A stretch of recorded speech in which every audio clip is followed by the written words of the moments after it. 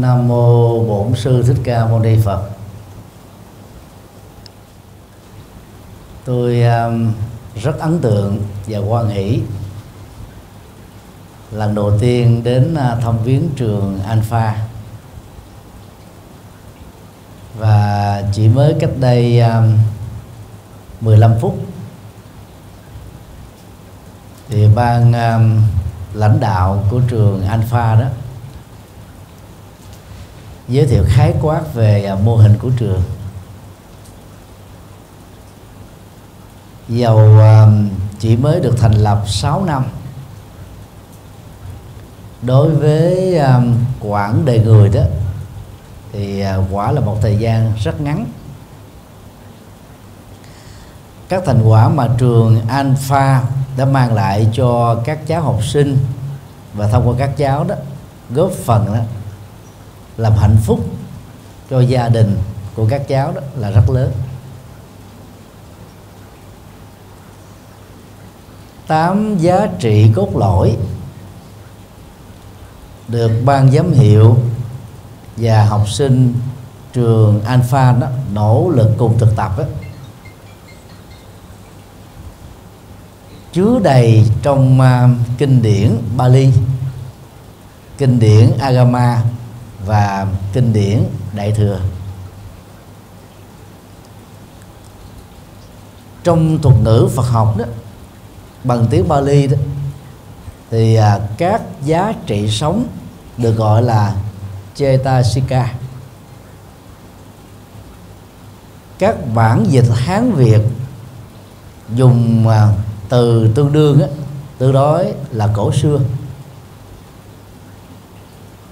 Tâm sở thiện. Tâm sở là thái độ tâm lý. Thiện đây là lợi ích, phù hợp luật pháp và kháng khích với lương tâm. Ngôn ngữ hiện đại đó được các nhà tâm lý học từ năm 1980 sử dụng qua giá trị sống và kỹ năng sống đó đã làm cho những lời Phật dạy 2.600 năm về trước đó có giá trị ứng dụng trong phạm vi toàn cầu. Dưới góc độ giáo dục. Trên nền tảng này đó thì à, tôi à, tán dương ban giám đốc, ban giám hiệu, tập thể, giáo viên và nhân viên của trường Alpha và khi à, được à, cô giáo hiệu trưởng giới thiệu rằng là các giáo viên và nhân viên của trường đó đã từng học thiền với à, thiền sư Dứt Hạnh ở làng Mai Thái Lan, cũng như là một số khóa kỹ năng về Phật pháp khác. Thì việc được huấn luyện mình trong chân lý Phật và đạo đức Phật đó chắc chắn là sẽ giúp cho các thầy cô giáo đó được hạnh phúc lớn hơn. Chủ đề ban giám hiệu yêu cầu tôi chia sẻ là thầy cô giáo hạnh phúc dẫn đến uh, học sinh uh, yêu thương là một mối quan hệ nhân quả. Để có được uh, nhân chân chính trên nền tảng giáo dục bởi các hệ giá trị của trường Alpha đó. Thầy cô giáo xem các học trò tại đây đó như là con cháu của mình.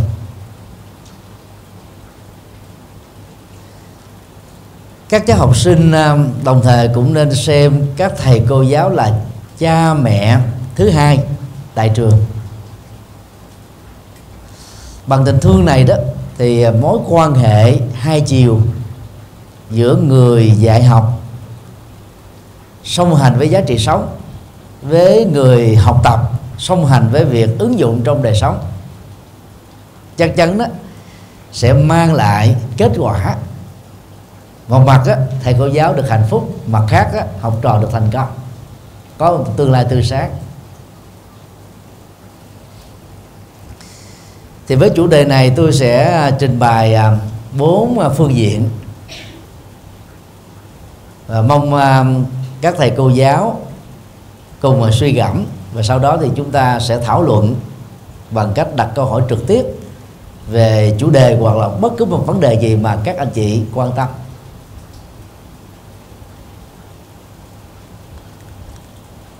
Điều một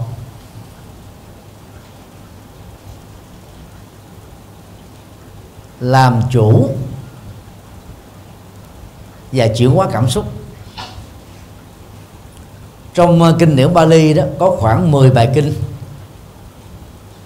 Đức Phật dạy không chỉ là kỹ năng, còn là nghệ thuật giúp cho mọi người đó làm chủ được cảm xúc và chiến thắng đó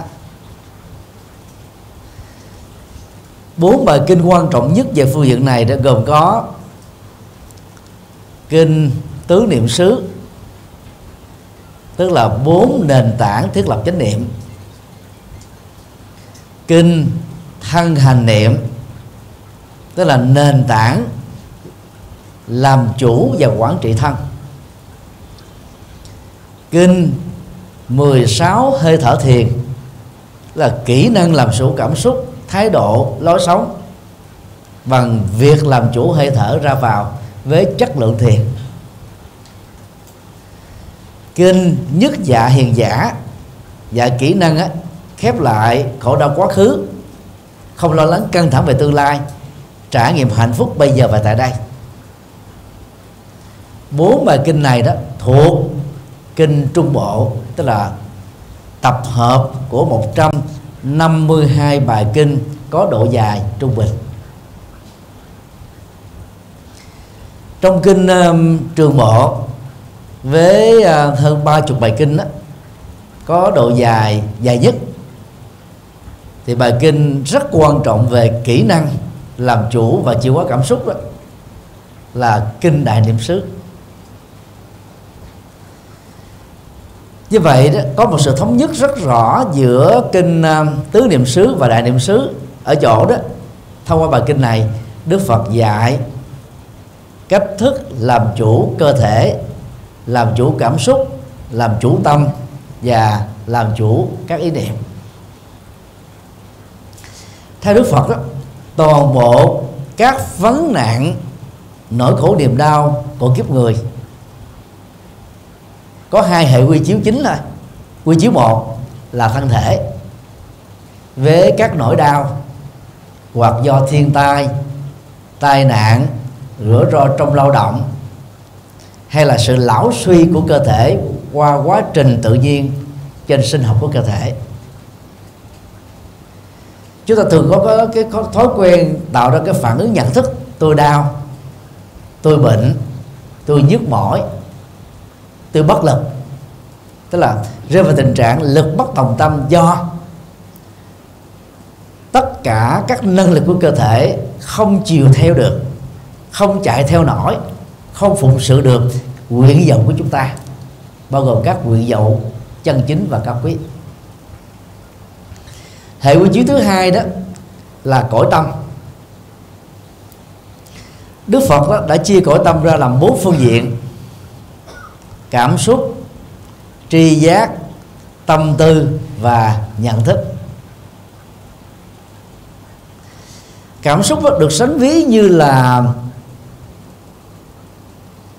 sự dân trào của sóng biển dưới tác động của gió đi ngang qua mặt biển, hoặc là sự động đất tạo ra những cái xáo trộn. Theo đó đó, sóng được nhô lên có thể cao 30 mét 50 mét 100 mét, rồi sau đó đổ dập xuống ở trên bề mặt của nước biển. Cảm xúc có hoạt động bung sung mà nếu không làm chủ nó đó chúng ta sẽ trở thành những con lạc đặt bị chúng giật dây. Chúng ta hoàn toàn đánh mất sự tự do. Và theo đó đó đức phật gọi rằng là chúng ta đang chìm vào trong khổ đau. Về à, cấu trúc uh, sinh học của cơ thể người nữ có bán cầu trái là cảm tính. Nổi trội hơn bán cầu phải là lý tính. Kéo theo um, phản ứng tất yếu người nữ rất chi tiết cần cù chăm chỉ kiên nhẫn theo đuổi. Thậm chí có những cái đó rất là bền bỉ và có những điều tiêu cực đó, thì trở nên rất là dai. Do đó đó khi chìm vào những cảm xúc tiêu cực á, thì người nữ thường bị rơi vào tình trạng giận dai giận dài giận dở. Thù dai thù dài thù dở. Nhớ dai nhớ dài nhớ dở. Nhằn dai nhằn dài nhằn dở. Than vãn dai than vãn dài than vãn dở. Toàn là núi lửa của cảm xúc tiêu cực và trong tình huống như vậy đó thì người sống với cảm xúc tiêu cực đang nhấn chìm mình vào trong sự bất hạnh. Và những người xung quanh bao gồm chồng con bị lây lan. Cái đó được gọi là liên lụy khổ đau. Thì thông thường khi mà chúng ta um, thiên nằm về cảm xúc đó, chúng ta có khuynh hướng liên minh cảm xúc. Bắt đầu bằng những người thân thương. Theo công thức đó, thương người, thương cả đường đi, ghét người, ghét cả tông chi họ hàng. Sự liên minh cảm xúc này đó, nó làm cho chúng ta có cảm giác là được thỏa mãn và xích xoa cái tôi, cảm xúc. Và càng đó, thỏa mãn nó, nuông chiều nó đó, thì người thiên nặng cảm xúc đó đang biến mình trở thành con tin và hành hạ và làm cho chúng ta đó gặm nhấm nỗi khổ niềm đau thêm nhiều lần nữa trong cuộc sống này. Do đó công việc quan trọng nhất của con người nói chung và các thầy cô giáo nói riêng đó để mang lại hạnh phúc cho các học trò của mình. Và mang lại các cái giá trị tích cực đó, cho những người có cơ hội trực tiếp hoặc gián tiếp học hỏi ở mình thì đầu tiên nhà giáo phải là người điển mẫu về việc làm chủ và chuyển hóa được cảm xúc. Và muốn như thế đó, thì chúng ta phải lưu tâm một số điều như sau.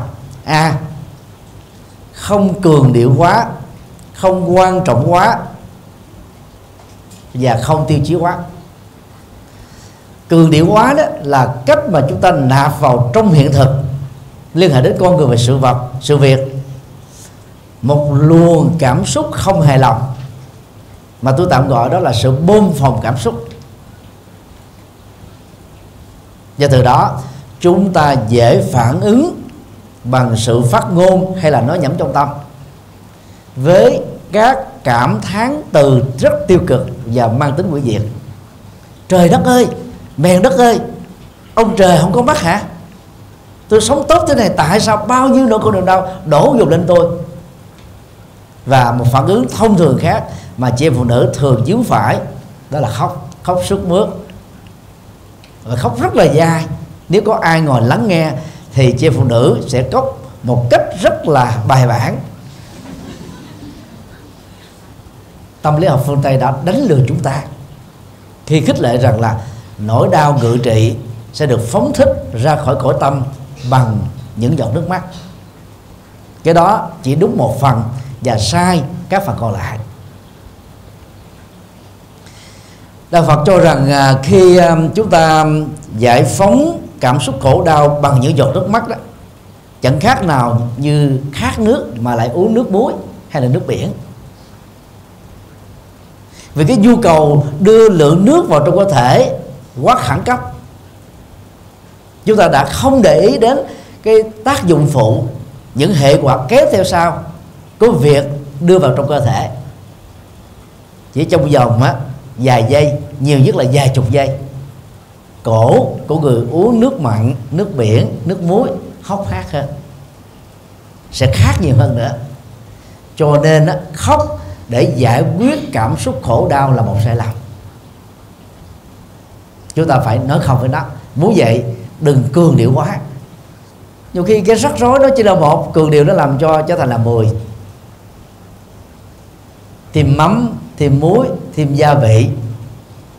Và bơm phồng vào trong cái thực tại đó. Những thứ mà thực tế nó không có đến nỗi như thế nghiêm trọng như thế. Do đó chúng ta phải tập bình thường hóa đơn giản hóa tương đối hóa. Thì các anh chị chỉ cần à, à khi mình à, trải qua một cái cảm xúc tiêu cực do biến cố cuộc đời xảy ra thiên tai hay là bất trắc à, thách đố trở ngại chướng duyên hoặc là trong quan hệ vợ chồng người thân ở nhà cũng gây những cái cái bức xúc khó chịu. Và với những cái bức xúc khó chịu đó chúng ta rất khó có thể trải nghiệm niềm vui ở trên lớp học. Lấy đầu tương tác niềm vui chia sẻ niềm vui à, cho cho cho học trò được. Thì cần phải nỗ lực vượt qua nó. Và xem nó nếu lớn như là quả núi thì xem như là tảng đá. Lớn như tảng đá thì xem như là cục đá. Lớn như cục đá thì xem như là viên sỏi. Lớn như viên sỏi thì xem như là hạt cát. Nhỏ như hạt cát thì xem không có gì. Đó là trong giai đoạn đầu. Giai đoạn thứ hai đó thì các anh chị phải thực tập đó, lớn như là quả núi thì xem như là hạt cát thôi. Đây là cách giải phóng cảm xúc tiêu cực bằng sự nhận thức đúng.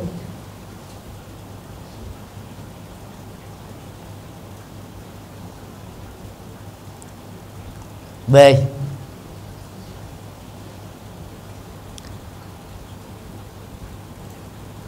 Khép lại um, kinh nghiệm khổ đau quá khứ. Về bản chất đó những nỗi khổ niềm đau mà chúng ta ký ức được nó đã trở thành như là bóng ma bám víu vào trong não trạng và cuộc sống của chúng ta ở ngày hiện tại. Cho nên về bản chất đó, chúng không còn tồn tại nữa. Chúng đã mất tích, chúng đã khép lại từ lâu.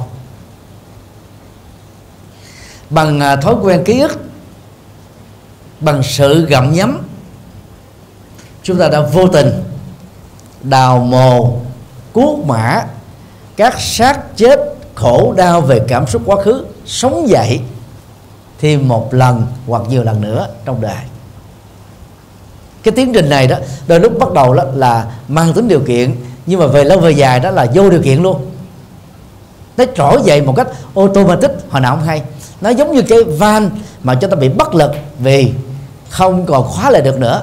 Nó tuôn chảy bất tận thì đó dẫn đến mất ngủ sau thời gian mất ngủ, rơi vào trầm cảm, bỏ việc làm, không màng đến giao tế, không thích tiếp xúc, không muốn chia sẻ khưởi bằng xà beng, cũng không thèm mở miệng nói, giam nhốt mình trong một căn phòng. Và cuối cùng á, tâm thần.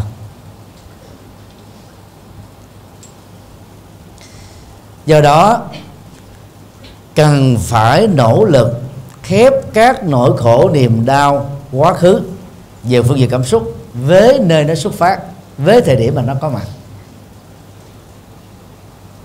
Vì nó không tồn tại nữa. Chúng ta không nên tài lanh làm thế chức năng của các nhà khảo cổ học, các sử gia. Một trong ba tuệ giác mà các bậc thánh a la hán bồ tát và phật trong đời phật chứng đắc đó là túc mệnh minh. Tuệ giác về các kiếp trước, từ đại cương đến chi tiết của bản thân. Như chúng ta đang nhìn thấy các vân tay trong lòng bàn tay của mình. Thì đó không có nghĩa ở mọi thời điểm, các vị giác ngộ đó đều nhìn thấy quá khứ của mình. Lúc nào cần thiết, mở cái van quá khứ ra, lấy một vài dữ liệu để biến nó trở thành bài học đạo đức ở hiện tại. Khi tôi được uh, ban lãnh đạo của trường Alpha giới thiệu đó thì cái ghế tôi ngồi đối diện với uh, một cái bảng à, trong đó nó có uh, hai câu tôi nhớ đại khái thế này. Quá khứ được sử dụng như một bài học. Tương lai đó gắn kết với sự áp dụng bài học đó. Đức Phật là người à, chủ trương à, chủ nghĩa thực nghiệm. Và cái thực nghiệm đó đó muốn có giá trị chúng ta phải sử dụng nó đúng cách. Chứ lúc nào mà cũng nhớ về quá khứ hồi ức về quá khứ kể lại quá khứ ham nói vào quá khứ chúng ta sẽ không còn không gian thời gian rồi à, não trạng đâu mà trải nghiệm hạnh phúc bây giờ và tại đây. Mà theo Đức Phật hạnh phúc chỉ có mặt ở ngay thời khắc này và tại địa điểm này.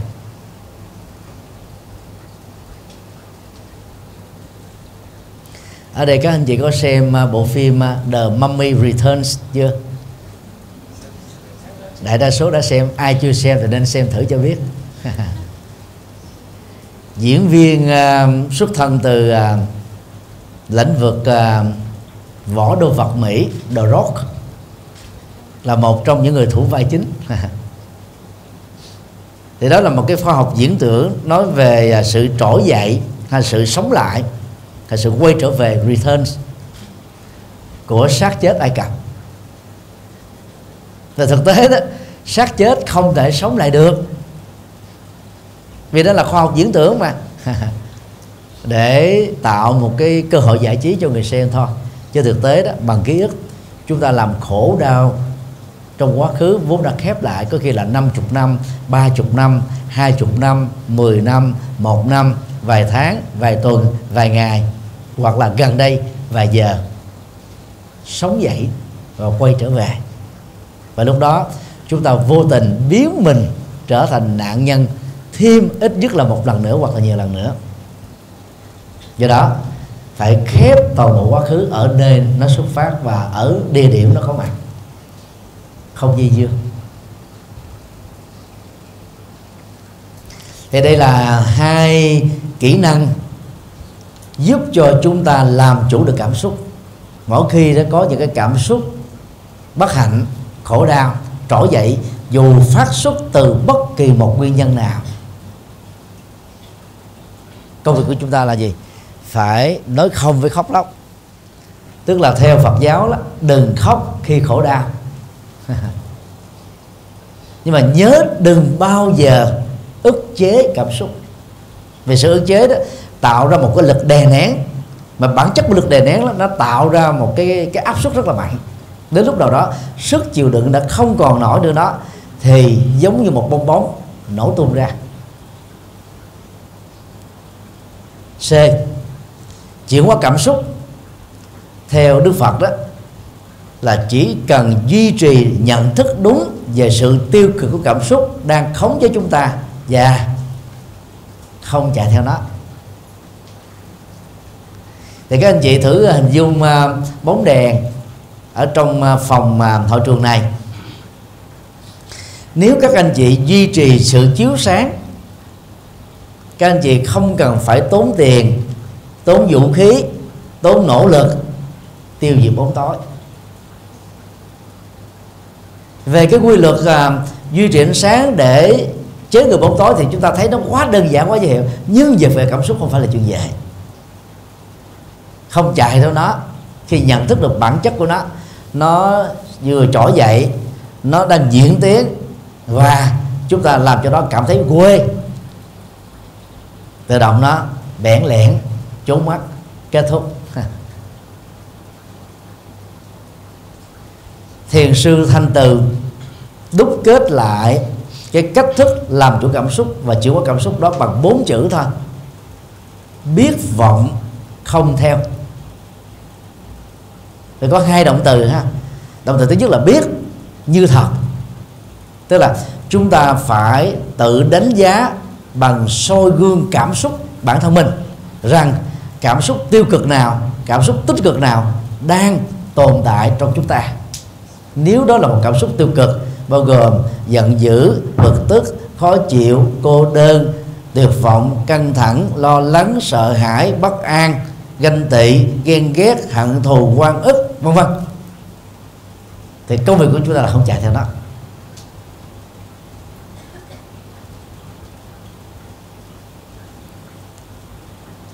Đối với các dòng cảm xúc tích cực, tiếp tục nuôi dưỡng nó, nhưng mà không dướng dính vào nó.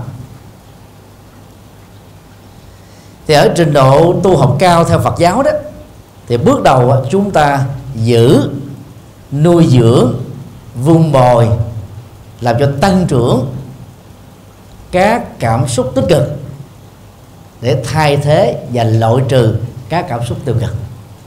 Tôi nói ví dụ như à, đây là một cái ly, có dung lượng là khoảng 200 ml chẳng hạn. Thì trước khi à, một ly nước trắng được chế vào trong cái ly này đó, nó có thể được sử dụng cho một cái ly nào đó, một cái cái loại chất lỏng nào đó, có màu, có mùi. Thì công việc mà chúng ta phải làm là gì? Xúc ly sạch, khử mùi, khử màu. Sau đó đó, nước được chế rót vào trong ly này mới có tác dụng. Mà không đó, hai cái này nó hòa trộn với nhau, dẫn đến vô hiệu hóa. Và nếu như nước màu, nước mùi đó mạnh hơn. Ly chưa rửa sạch đó, thì nước trắng này trở nên vô hiệu.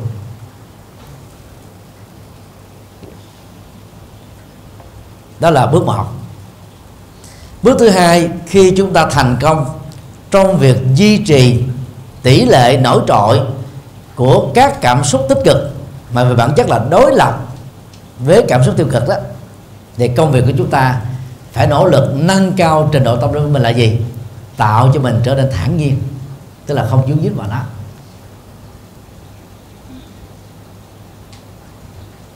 Các anh chị cứ hình dung mà, nếu chân của các anh chị dừng và bám trụ trên tầng nhà thứ 99 các anh chị đánh mất cơ hội có mặt ở tầng 100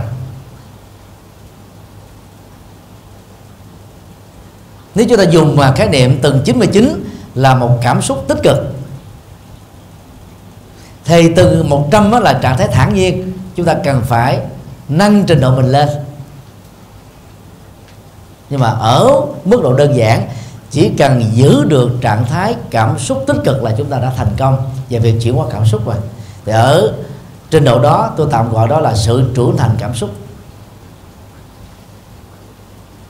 Sau khi chúng ta đã chuyển hóa được các cảm xúc mang tính quỷ diệt, mà hệ quả của đó là mang lại nỗi khổ niềm đau cho mình, cho những người tương tác với chúng ta. Việc làm chủ và chuyển hóa cảm xúc này là yếu tố không thể thiếu. Nó sẽ làm cho chúng ta trở nên rất thật. Mà không á, chúng ta sẽ là người đóng vai giống như diễn viên trên điện ảnh hay là sân khấu kịch nói hoặc là sân khấu hài. Chúng ta thủ một cái vai bằng cách là chúng ta nhập vai, nhưng trên thực tế chúng ta không đạt được tâm niệm đó, cuộc sống đó với các biểu đạt thói quen và ngôn ngữ ứng xử đó.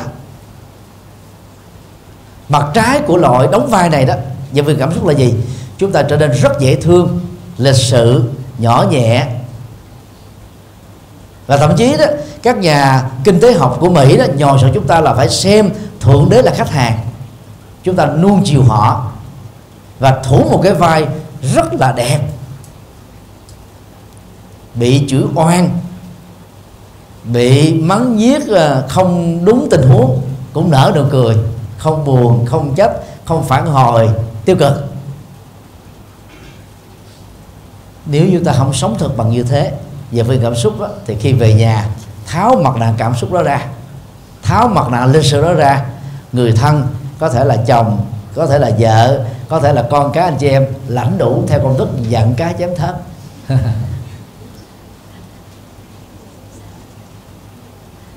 do đó, thay vì thủ vai dễ thương, hãy sống nhập vai dễ thương đó bằng trái tim của mình. Đó là giá trị chân thật thôi. Honesty. Và cái này đó, chỉ có thể đạt được khi chúng ta làm chủ được cảm xúc thôi.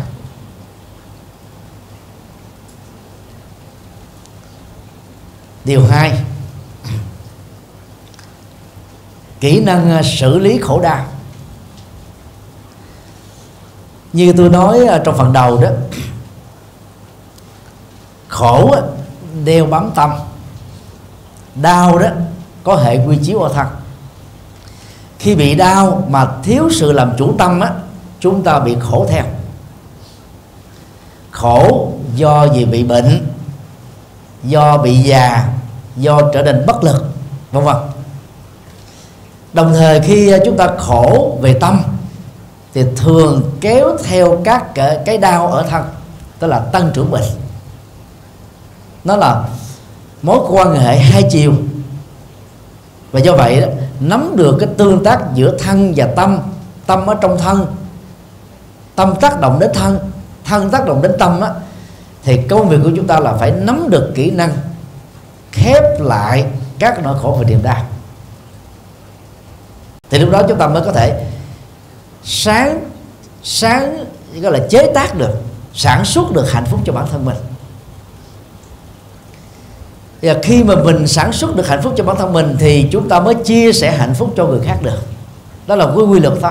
Thì trong kinh trường bộ đó, đức phật à, đưa ra một cái ví dụ rất ấn tượng. Này các đệ tử, một người không biết bơi không thể giúp cho người đang chết đuối được cứu sống. Cái quy luật này nó quá rõ thôi. Và Đức Phật nói, tương tự, một người chưa giải quyết được các vấn nạn khổ đau của bản thân, lấy đâu vốn luyến để mang lại hạnh phúc cho người mình thân thương. Đang khi cuộc sống này nó quá nhiều thách đố, nhiều áp lực lãnh đạo của chúng ta đưa ra các tiêu chí tiêu chí về số lượng để dẫn đến sự tăng trưởng về số lượng, tiêu chí về chất lượng để dẫn đến sự mang lại các kết quả hài lòng ở khách hàng. Và nếu như năng lực mình kém thì các tiêu chí đó vô tình đã trở thành áp lực. Và nếu không giải quyết bằng phương pháp đúng, Đức Phật gọi là Sama Magga con đường đúng, phương pháp đúng, quy trình đúng. Vượt lên trên cái mà chúng ta gọi là đúng quy trình. Đúng quy trình đó là một sự biện hộ về cái yếu kém của hệ thống. Và chúng ta gán nó một cái mát đó là lỗi hệ thống, chứ không phải ở tôi à hệ thống đó đã được duyệt, kịch bản đã được thông qua.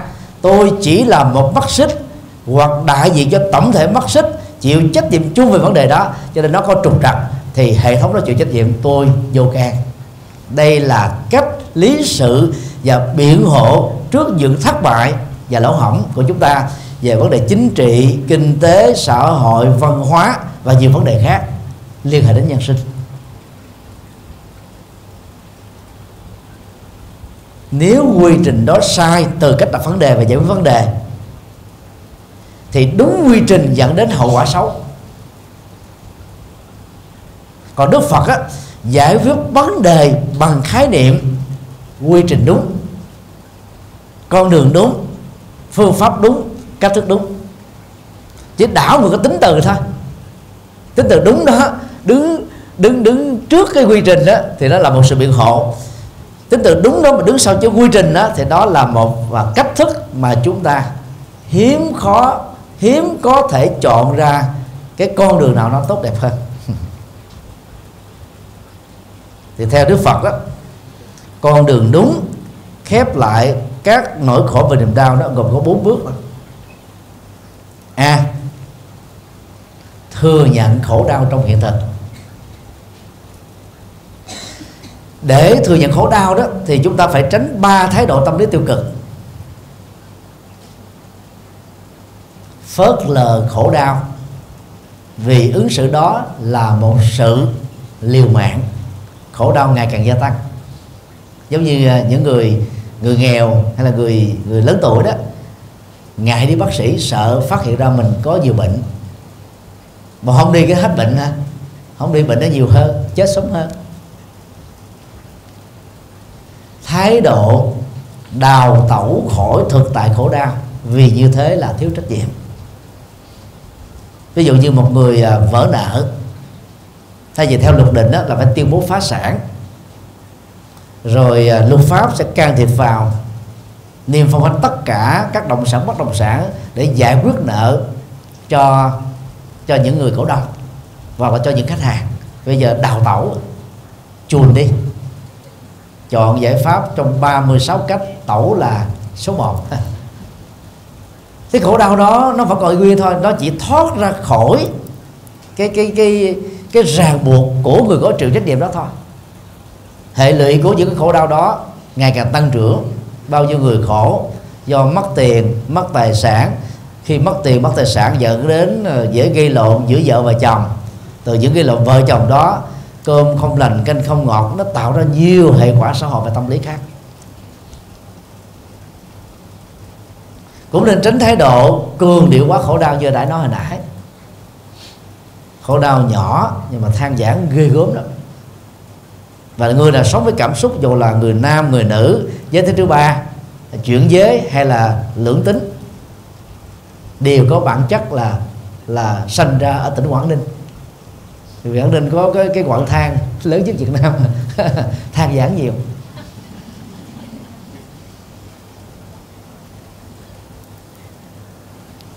Thì đó là ba thái độ tâm lý tiêu cực. Cần phải vượt qua.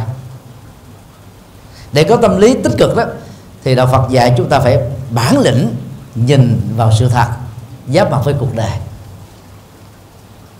Ở đây có bạn nào đã đã xem bộ phim Hà Nội trong mắt tôi hay là Việt Nam trong mắt tôi vậy đó?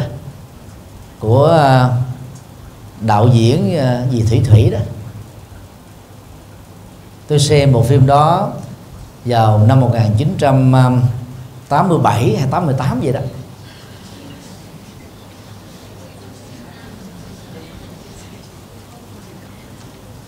Kể từ khi ông Nguyễn Văn Linh lên làm tổng bí thư đảng, thì ông có chính sách là những việc cần làm ngay để dẫn đến cái sự cải cách chính chính trị Việt Nam trong giai đoạn đầu. Và trong những việc cần làm ngay đó đó là phóng thích những người có quan điểm khác biệt với những người bảo thủ ở vai trò lãnh đạo. Thì ông Thủy đó, khi à, sản xuất ra bộ phim mà chính ông là người viết kịch bản và đạo diễn, ông bị bỏ tù vì dám tố cáo chế độ, nói xấu chế độ. Thì ông so sánh à, Việt Nam và Nhật Bản sau Thế chiến thứ hai. Nhật Bản là một kẻ tội phạm do gây tạo chiến tranh cùng với Đức và Ý. Một phần phải bồi thường hậu quả chiến tranh do chính họ gây ra. Mặt khác, họ phải bị quản lý thúc thủ bể Hoa Kỳ và đồng minh. Tại sao họ tiến bộ? Đưa nền kinh tế lên đến đỉnh cao của thế giới, còn đang khi Việt Nam thì tụt dốc, nghèo nàn, lạc hậu. Thì theo ông Thủy đó là do vì đó giáo dục của Nhật Bản đó, dựa vào Phật giáo nó thẳng sự thật nhìn vào sự thật. Còn giáo dục chúng ta là bưng bít tu học. Còn mình trích dẫn những cái cách mà nhà giáo Việt Nam đó, đứng trên lớp nói này các em đất nước chúng ta uh, rừng vàng biển bạc tài nguyên thiên nhiên phong phú. Chiếu qua cái cảnh ở tại một trường lớp Nhật á này các em đất nước chúng ta rất bất hạnh, thiên nhiên không ưu đãi. Muốn tồn tại, chúng ta phải nỗ lực phấn đấu gấp 10 lần đến 100 lần so với cư dân của nước khác. Một là các em sẽ bị chấp nhận trở thành những kẻ nghèo nhất và bị người khác lãnh đạo. Hai là các em phải nỗ lực vượt qua số phận bằng những đóng góp tích cực cao quý hơn cho đất nước này. Sau đó ông chiếu qua cái cảnh đất nước ta rừng vàng biển bạc. Rừng á, thì bị lá rụng hết. Do bị ô nhiễm môi trường. Biển chúng ta nó bọt bèo đầy hết do ô nhiễm nước. Đó là rừng vàng biển bạc đấy. Rồi đó những người chạy xe xích lô có những cái tivi cái khái niệm tivi á ở trên áo tivi ở quần á tức là vá đó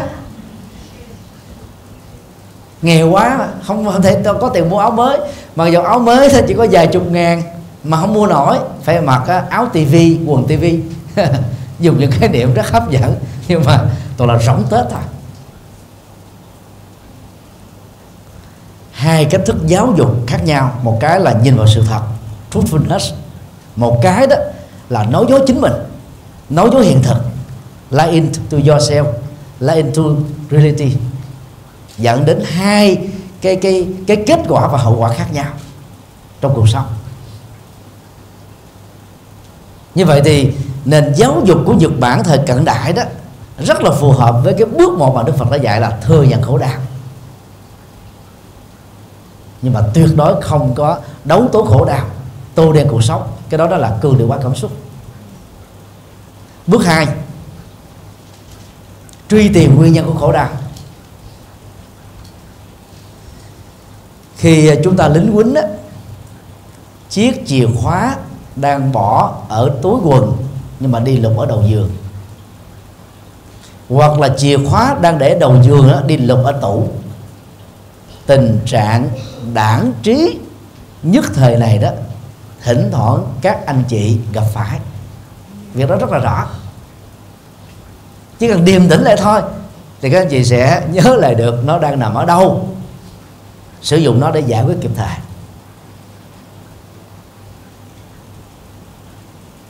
Người ta chết bao gồm các tỷ phú và triệu phú không phải do thiếu tiền điều trị bệnh, mà là chẩn đoán sai bệnh, dẫn đến điều trị sai phương pháp. Đức Phật gọi trong kinh dược sư, cách chết như vậy là một trong những cách chết bất đắc kỳ tử. Tức là tuổi thọ vẫn còn, mạng sống vẫn còn bệnh không đáng chết mà lại chết ngang thì theo Đức Phật đó để giải quyết các vấn nạn thì nhiệm vụ và cũng là một cái cam kết của chúng ta làm thế nào để chỉ mặt điểm tên được mặt mỗi cái khổ đau là cái gì? Nguyên nhân gây tạo ra nó phát xuất từ đâu? Từ sự chủ quan từ sự à, à, khách quan từ bản thân mình từ người từ hoàn cảnh xã hội điều kiện sống từ sự hiểu lầm hoặc là tổng hợp những thứ này. Và quan trọng hơn đó, Đức Phật hướng dẫn chúng ta quay trở về bên trong, thay vì chúng ta có khuynh nước đổ lỗi ra bên ngoài. Do kiếp trước tôi như thế, cho nên bây giờ tôi mới vậy đó là tự an ủi. Hoặc là dân dân Việt Nam có những cái cách an ủi mê tín hơn, là của đi thay thế người, mất của, mất tài sản, bị lừa, bị tổn thất, để bảo toàn mạng sống cho ta đó là an ủi. Đó là chấn an. Chứ không phải là là, là truy tìm nguyên nhân. Nguyên nhân đó vẫn còn y nguyên thôi. Hoặc là quý cô có thói quen đó khi gần đến ngày lễ cưới rồi đường anh anh đi đường tôi tôi đi chuyện tình đôi ta chỉ thế thôi. Đổ lỗi cho kiếp trước chắc là tôi quỵt tình phụ tình. Các chàng trai cho nên kiếp này tôi phải trả quả sau đó đó rủ nhau đến chùa đến đình miếu làm lễ cắt tiền duyên các cái duyên nợ vợ chồng ở kiếp quá khứ để ma quái không đeo bám chúng ta kiếp này. Đó là mê tín. Ở miền bắc tập tục này nhiều lắm. Không biết đây có thể có cô giáo nào quen làm việc đó không? Về phương diện tâm lý học đó, thì theo Đức Phật có bốn nguyên nhân chính được xem như là gốc rễ của các nỗi khổ và niềm đau. Thứ nhất nguyên nhân tham lam, dẫn đến phạm pháp, ngược đạo đức, trái lương tâm, lũng đoạn ờ, ô dù và nghĩ rằng là mình có thể là trường hợp ngoại lệ sống ngoài luật pháp. Nguyên nhân thứ hai đó là giận dữ được thể hiện qua chiến tranh, bạo động, bạo lực, là hận thù à, ganh ghét à, cạnh tranh à, xúc phạm rồi à, à, đối đầu loại trừ một mất một còn để trở thành độc tôn. Nguyên nhân thứ ba đó là sự ngu si thiếu hiểu biết về khoa học thiếu hiểu biết về nhân quả không tin kiếp sau là có thật không tin mỗi người có một cái nguồn tiềm năng vô tận không tin rằng là mình có thể thay đổi được số phận ở kiếp này. Theo đức phật là các nguyên nhân về nhận thức dẫn đến khổ đau. Nguyên nhân thứ tư là cố chấp cho rằng là mình á, là siêu tuyệt trình độ kiến thức phương pháp của mình là số dách biến mình trở thành là tự ngã trung tâm egocentric. Và buộc mọi người đó phải nhắm vào cái tiêu điểm này phục vụ cho mình làm hài lòng mình về cảm xúc và thái độ. Thì muốn cái gì cũng được còn mà không á là loại khử. Đây là bốn nguyên nhân chính về phương diện tâm lý dẫn đến các nỗi khổ niềm đau. Nếu như chúng ta thất bại trong việc truy tìm nguồn gốc của khổ đau này đó, thì chúng ta không thể giải quyết được khổ đau một cách lâu dài. Để đâu có được hạnh phúc. Các anh chị thử đánh giá lại, kiểm nghiệm lại từng nỗi đau giữa vợ và chồng, cha mẹ và con cái, bạn bè, đối tác, hoặc là thỉnh thoảng mình với là phụ huynh học sinh. Nó đều có một trong bốn thế này, hoặc là hai trên bốn, ba trên bốn, hoặc là bốn trên bốn. Khoanh dùng được nỗi khổ niềm đau thì mới giải quyết được. Ít nhất là gì? Không để cho nó tái diễn thêm nhiều lần nữa các anh chị nhớ à, cách đây ba chục năm, nền à, y khoa trên thế giới vẫn còn là hậu cho nên á, người ta có thói quen là gì? Tiêm chích vào trong vai trái hoặc là vai phải. Các cái mũi à, mũi gì? Gọi là mũi gì quên rồi? Vaccine. Và mà về bản chất là gì? Đó là các vi trùng cùng chủng loại và yếu què quặt để cho cơ thể tạo ra hệ thống kháng thể và à, binh pháp để đánh vô hiệu hóa các loại vi trùng này. Cho nên khi mà đến mùa vi trùng nó đến đó, thì cơ thể chúng ta đã quen với bài bản đánh và khống chế chúng. Ít nhất là gì? Khoanh dùng chúng lại. Không để cho chúng lây lan. Và lây lan cái khổ đau trong cảm xúc nó còn phức tạp hơn là cái sự ờ, lây lan, gọi là, dịch bệnh ở trong cơ thể. Cái phản ứng bảo vệ của chúng ta bám lại, ghi chặt lại. Đối với văn hóa, phong tục, tập quán, thói quen, ứng xử, còn hơn sự bảo tồn của cơ thể, khoanh dùng độc tố lại ở một chỗ cho nên cái công việc chúng ta làm phải thành công trong việc chỉ mặc điểm tên được nguyên nhân của khổ đau. Bước ba trải nghiệm hạnh phúc.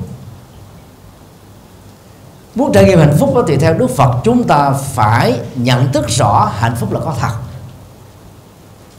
Hạnh phúc không tồn tại trong quá khứ vì nó đã kết thúc rồi, nó đã chết rồi.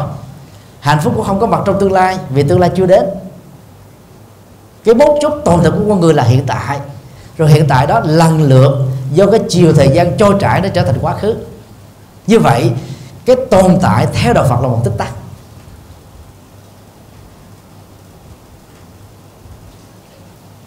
Và do đó phải trải nghiệm hạnh phúc trong từng tích tắc của thời gian bằng sự thông minh. Có ba cấp độ hạnh phúc theo Đức Phật. Hạnh phúc thấp nhất là hạnh phúc tính dục. Vừa là nỗi đam mê, vừa là sự ám ảnh vừa là cái mang lại hạnh phúc và vừa là cách mang lại khổ đau cho con người. Các anh chị nào có đời sống vợ chồng rồi đó, thì có thể hiểu được điều mà Đức Phật đó nên Đức Phật nói thế này nè, rất may đó là trong kiếp người này đó, chỉ có một điều khó vượt qua nhất là tính dục chứ nếu như mà nó có một cái nào đó tương đương như tính dục á chắc là không có ai có thể trở thành thánh, bồ tát, phật, giác ngộ gì hết á.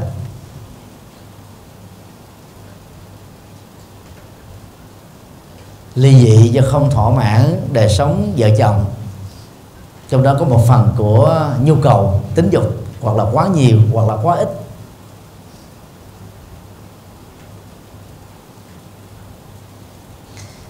Cấp độ thứ hai đó là khoái lạc các giác quan thông qua việc giải trí qua các phương tiện nghe nhìn hay là giải trí văn hóa giải trí trí thức. Chẳng hạn như à, chúng ta cười kha khả cười giòn giả khi mình xem một và hài kịch hay là phim hài nào đó. Chẳng hạn như là của à, sạc lô hay là Mr Bean à, Hoài Linh Trấn Thành Thúy Nga à, Duy Phương Bảo Quốc. Tấn Bo, Tấn Beo, vân vân. Thì gần như là cái cái cái cảm xúc mà cười đó không thể nín được. Cười đến độ mà chúng ta muốn đau cả cái bụng. Và nó muốn mỏi luôn cả hai cái bả hàm. Có lẽ là khi các anh chị mà ờ, là vượt qua được cái cảm xúc khổ đau thì các anh chị sẽ cười giòn giả như thế. Và đã từng trải qua những cái cái cảm giác đó. Có người cười đến độ là xa nước mắt luôn. cười nhiều quá đến đầu chảy nước mắt luôn.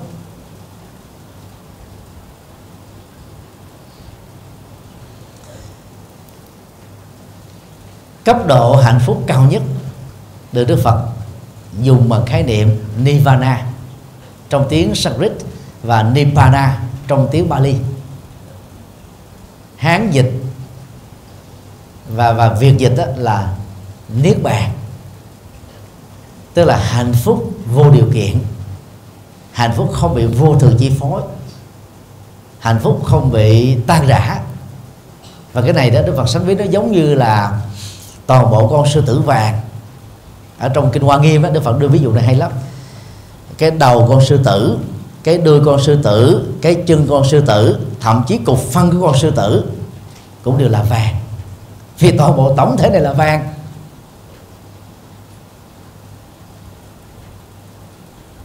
Điều đó tượng trưng cho khi mà con người đã đạt được sự giác ngộ.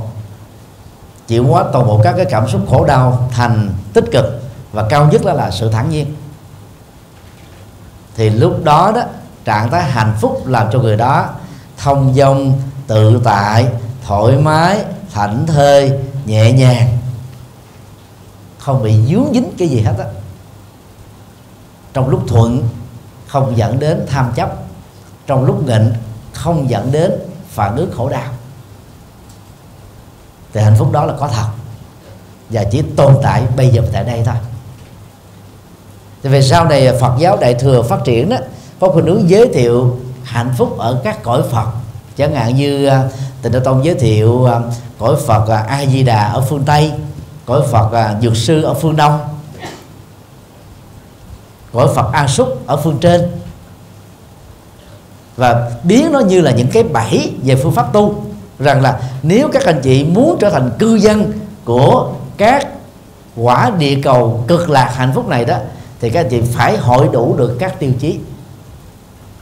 Tạm gọi giống như là muốn có được visa nhập cảnh vào cõi Phật, thì kinh A Di Đà đưa ra năm tiêu chí. Thứ nhất, căn lành lớn, tức là hết tham, hết sân, hết si, hết cấu chấp thứ hai là công đức lớn làm rất nhiều việc nghĩa việc thiện việc nhân đạo ở mức độ quy mô quỹ mô. Thứ ba tạo nhân duyên tốt lớn mở điều kiện uh, dẫn dắt rồi uh, tư vấn giúp đỡ để cho mọi người đó trở nên thiện và hạnh phúc. Thứ tư đó, là dùng dữ liệu của cuộc sống này để xây dựng hạnh phúc không trốn chạy nó. Thứ năm đó là nhất tâm bất loạn tức là tâm được điềm tĩnh chuyên nhất không rối loạn không có du lịch đang ở chỗ này mà tâm du lịch chỗ khác. Ở trong à, đạo Phật thì tôi thường đưa cái ví dụ tiếu tiếu thế này là Nam mô A Di Đà Phật, Nam mô A Di Đà Phật, Nam mô A Di Đà Lạt. Tức là niệm Phật A Di Đà nhưng mà lộ qua Đà Lạt. Thay vì Đà Phật cho nên Đà Lạt. Tại vì lúc đó tâm đang du lịch, cái cảnh quá khứ mà mình đã có một lần hoặc nhiều lần kinh nghiệm qua, đó là một nơi rất mát quanh năm.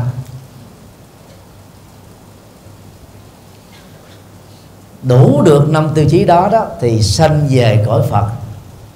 A Di Đà. Nhưng mà sâu sắc về triết lý của kinh Đà nằm ở chỗ đó. Khi mà con người đạt được năm tiêu chuẩn này để được nhập cảnh về cõi nước Phật đó, thì người đó đã trở thành thánh rồi. Mà thánh có mặt chỗ nào? Chỗ đó là cực lạc. Tự thân của người đó là cực lạc tâm người đó là tràn đầy cực lạc mà khi đã trải nghiệm cực lạc rồi thì không cần phải đi đâu nữa ta. Khổ quá ta bắt đầu đi. Như là sau năm 75 à, ờ, dân miền Nam đi vượt biên để tìm mảnh đất hứa. Một phân nửa trong số mấy triệu làm mồi cho cá chết vĩnh viễn mất tích. Một phân nửa còn lại may mắn đó, thì lập nghiệp từ hai bàn tay trắng làm từ các nghề ô xin. Biết bao nhiêu cái tuổi phận ở kiếp người xin lỗi ở ở nước người. Còn khi mà người ta giàu có rồi hai đội đi làm gì? Lúc đó ở miền nam có một câu mà nếu cột đèn biết đi đó thì không có cột đèn nào ở sài gòn còn. Tức là cột đèn của đi Dụng biên. Ta nói ờ, cái cái cái khổ lúc đó nó, nó lớn như vậy. Ở miền bắc còn khổ nhiều hơn khổ từ năm 1945 vì chiến tranh vừa là cuộc nội chiến 30 năm nội chiến từng ngày, chỉ vì ý thức hệ chính trị, cộng sản hoặc là tư bản thôi. Mấy triệu người dân đã bỏ mạng vĩnh viễn. 300 ngàn lính của Việt Nam Cộng Hòa ở miền Nam và Cộng sản ở miền Bắc.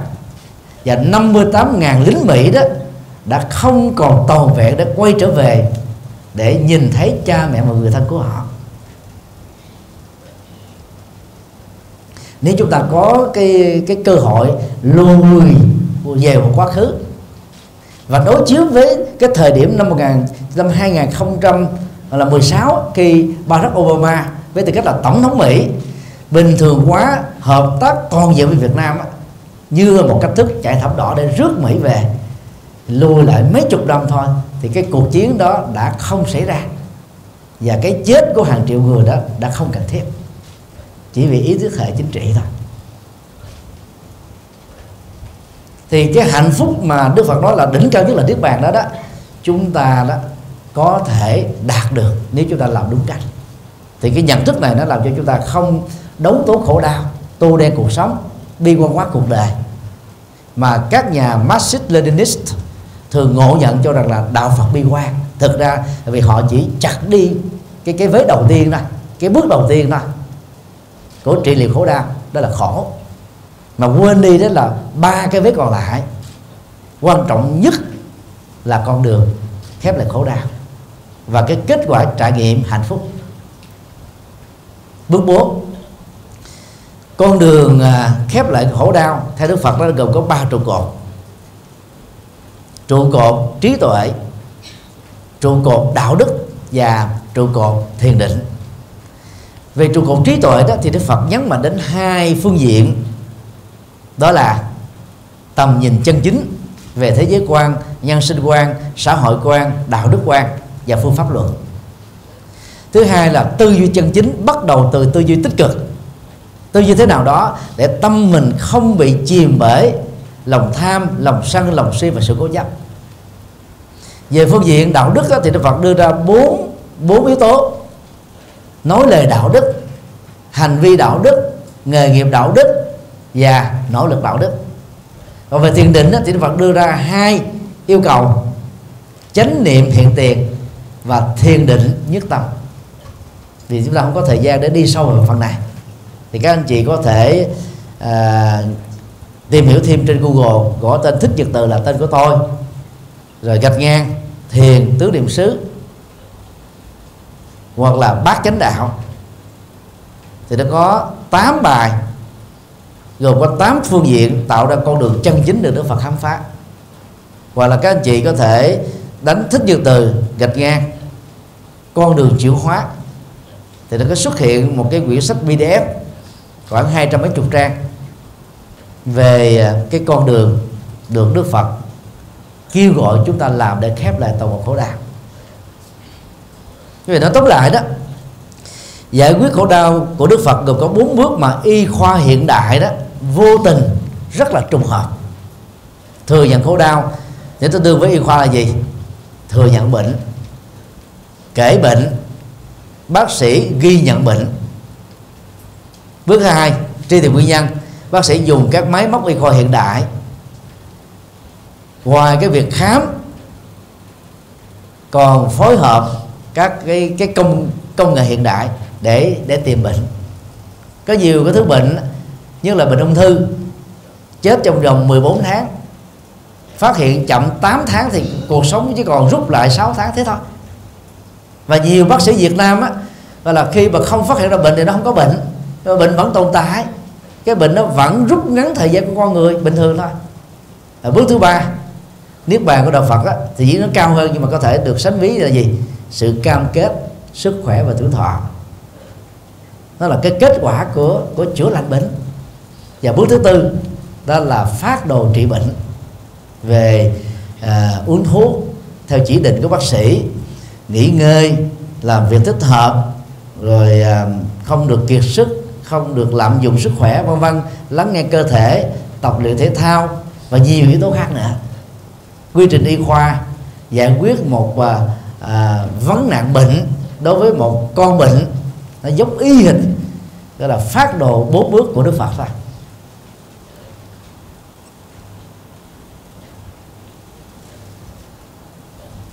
Gần hết giờ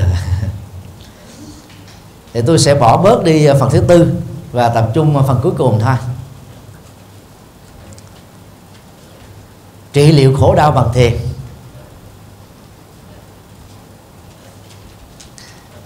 Ở đây tôi rất mừng là phần lớn các thầy cô giáo đã thực tập thiền Phật giáo. Cho nên á, ít nhiều đã trải nghiệm qua sự hạnh phúc khi làm chủ thân làm chủ cảm xúc làm chủ tâm và làm chủ ý niệm.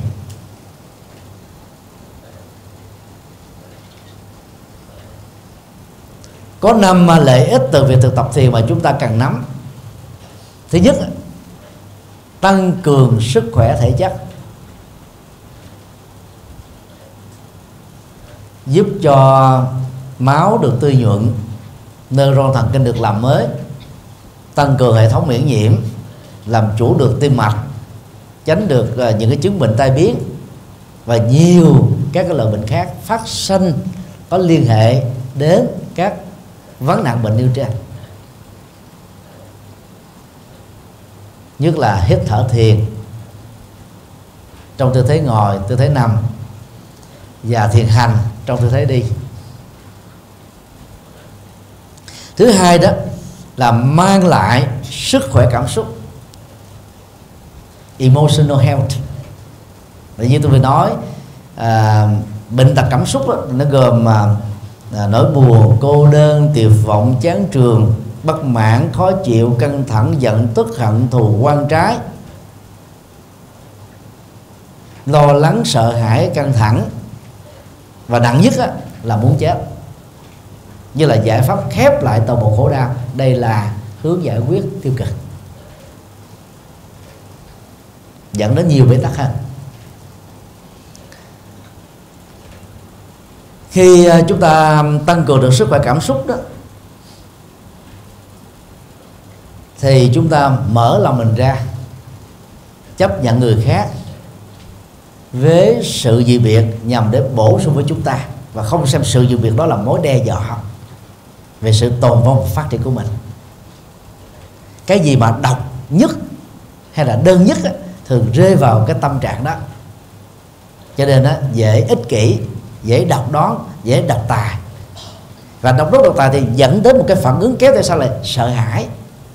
Mà sợ hãi đó thì phải dùng những biện pháp để khống chế quản lý đưa ra đủ thứ tất cả những cái quy định mà đôi lúc nó không cần thiết. Để làm cho nỗi sợ hãi của mình đó, nó được lắng yên. Cái đó đó đạo Phật đó nó giống như là con rùa đó. Khi mà bị các con vật lớn hơn đang hiện hữu tấn công đó thì cái phản ứng của nó là gì? Rút cái đầu và tứ chi vào cái mai rùa.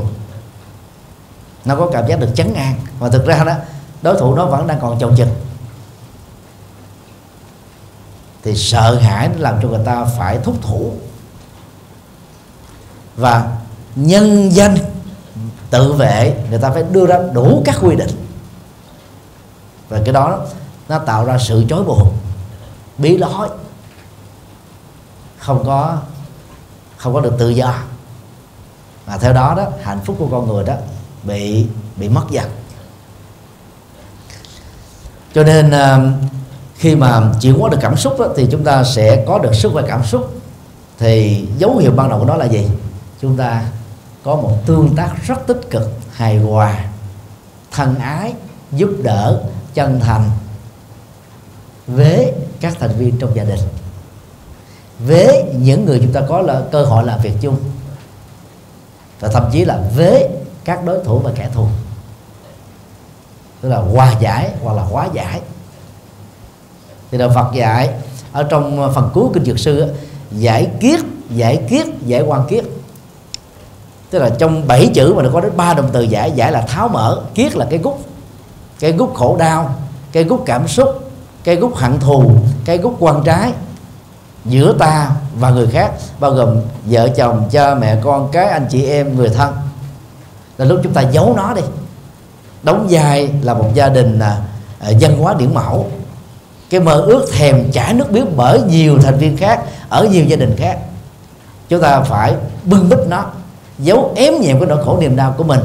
Thậm chí có nhiều cặp vợ chồng đó mặc định trước mặt con và người thân anh và em hạnh phúc vui vẻ.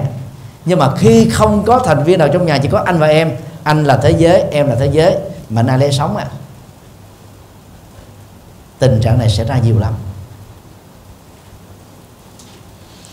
Do đó sức khỏe cảm xúc đó làm cho chúng ta trở nên rất tích cực. Từ năm 1985 á, các nhà tâm lý học đó đưa ra những cái khái niệm chỉ số thông minh cảm xúc. Ở Việt Nam thường dịch là chỉ số trí tuệ cảm xúc. Nguyên tắc tiếng Anh đó là emotional intelligence quotient gọi tắt là emotional intelligence, thông minh cảm xúc. Trước năm 1980 trở về trước, Mỹ là nước đi đầu tiên đưa ra cái tiêu chí để thành công đó là gì? Chỉ số thông minh, intelligent quotient nhưng rồi từ năm 1985 đó, tức là sau năm 5 năm thôi, người ta thấy rất rõ, có rất nhiều người thông minh cực kỳ, đoạt giải Nobel hay là giải Field danh giá tương đương. Là giáo sư hàng đầu của các trường đại học, hàng đầu của thế giới. Chẳng hạn như là các nhà giải Nobel kinh tế, ha. Nhưng mà làm bằng kinh tế, không sao. Cái thông minh về kinh tế ai hơn được? Rồi là có nhiều người ta giỏi cực kỳ về toán. Nhưng mà không có nghĩa là họ sẽ thành công ở những vấn đề còn lại, bao gồm việc làm ăn, việc làm giàu, và quan hệ xã hội, quan hệ người thân, và nhiều mối quan hệ khác. Là cái người thông minh cảm xúc rất nhạy bén. Họ thích ứng được. Họ điều chỉnh được. Họ thay đổi tích cực được họ nắm bắt được cơ hội được. Họ chuyển tình huống được. Cái thông minh cảm xúc làm cho người ta thành công hơn là là thông minh như là một chỉ số cao. Thì nói cách khác là sức khỏe cảm xúc giúp cho người ta có được chỉ số thông minh cảm xúc cao nhất và cái đó đó, các bạn có thể đạt được bằng kỹ năng thực tập thiền. Rồi ba lợi ích còn lại của thiền đó là sức khỏe tâm. Rồi quá giải hận thù là lễ thứ tư. Hòa bình nội tại đó là lễ thứ năm. Chúng ta có một cái sự bình an, điềm tĩnh, sâu lắng một cách rất là tự nhiên. Nó tỏ ra từ cái cuộc sống của chính mình vì không có thời gian là tôi tính lược ba quan này. Và cái kỹ năng thực tập và thiền để đạt được năm giá trị nêu trên đó thì nó gồm có mấy bước sau đây thôi. Bước một, điếm hơi thở và làm chủ hơi thở. Các bạn có thể ngồi trên ghế thẳng lưng, hay là nằm ở dưới sàn nhà, hay nằm trên giường. Các bạn chỉ cần là buông thư các cơ bắp thoải mái đó. Các bạn khép mắt lại một trăm phần trăm vì con mắt á, tiêu thụ nhiều nhất trong các giác quan. Tiêu thụ màu sắc hình ảnh hình thù vóc dáng rồi cảnh trí phim ảnh thời trang mẫu mã. Nó ăn gấp trăm lần gấp ngàn lần so với lỗ tai và so với cái bụng và con mắt cũng làm cho con người tốn nhiều tiền nhất được hạnh phúc gắn kết với đó cũng nhiều nhất và khổ đau gắn với đó cũng là bội phận. Khép mắt lại để chúng ta ngưng lặng bớt đi các phản giác quan mà thường nó là gì? Các biểu đạt như là các cánh cửa sổ của tâm. Thì trong kinh thủ nó nghiêm đức phật đưa ra một cái ví dụ á, như một căn nhà có một cửa cái và bảy cửa sổ. Mỗi một cái cửa cái và bảy cửa sổ đó được đó là dán một cái màu khác nhau. Bật một ngọn đèn ở trong lên. Các bạn đi một vòng xung quanh căn nhà đó, các bạn có cảm giác là có tám màu sắc. Mà thực ra nó chỉ có một màu đèn vàng ở trong thôi, hoặc là từ đuốc, hoặc là từ đèn cài. Thời của Đức Phật thì chưa có đèn điện. Đèn điện này mới phát minh vào à, một tám trăm mười mấy thôi. Đức Phật chia ờ, hệ thống tâm của người ra làm tám là tám phần. Nhóm thứ nhất là sáu giác quan, gồm có là thị giác, cái nhìn của mắt, thính giác, cái nghe lỗ tai, khú giác, cái ngửi của mũi, vị giác, cái nếm của lưỡi, xúc giác, cảm nhận của làn da và hệ thống thần kinh. Và ý giác, tức là nhận thức của tâm.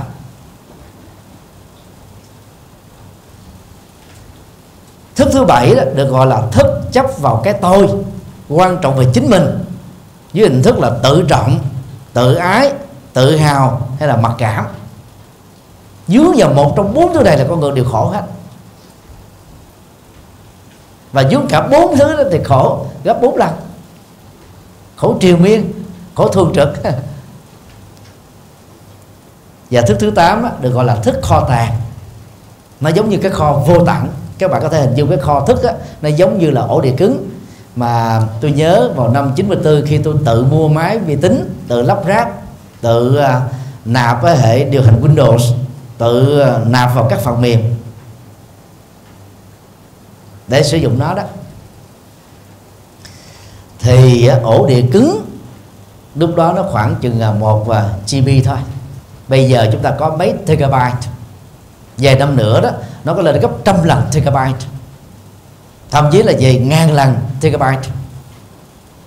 Cùng với một cái không gian đó với cái công nghệ nén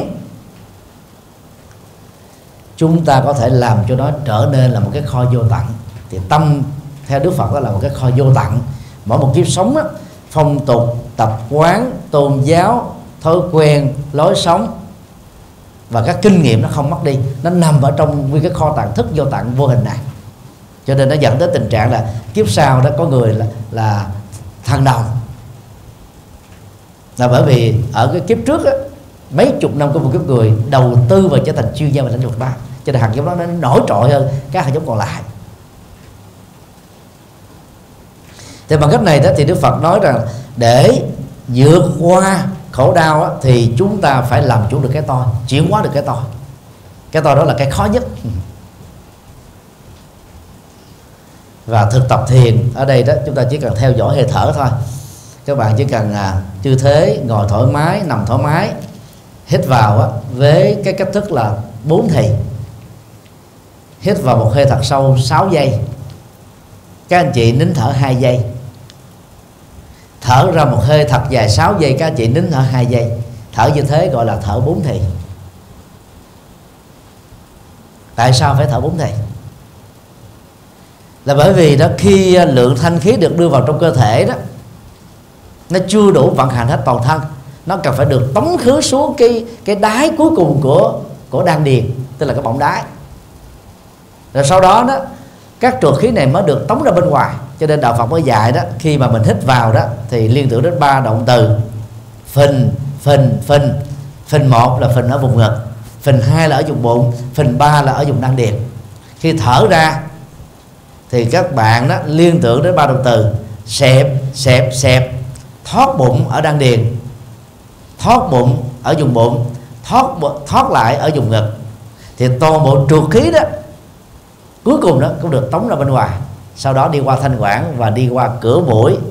Tiếp giáp với cái cái uh, miệng lỗ mũi và đi ra bên ngoài. Khi bận rộn các bạn thở bằng mũi. Xin lỗi thở bằng miệng hít vào bằng mũi và thở ra bằng miệng.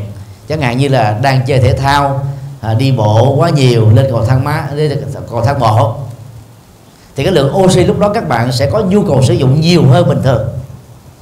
Có thể gấp đôi gấp ba gấp tư nhưng mà thở, nếu mà các bạn á, thở ra bằng lỗ mũi nó không không kịp vì cái lỗ mũi nó nhỏ quá cái miệng nó to gấp mấy chục lần nó mà tống ra nhanh carbonic ra bên ngoài.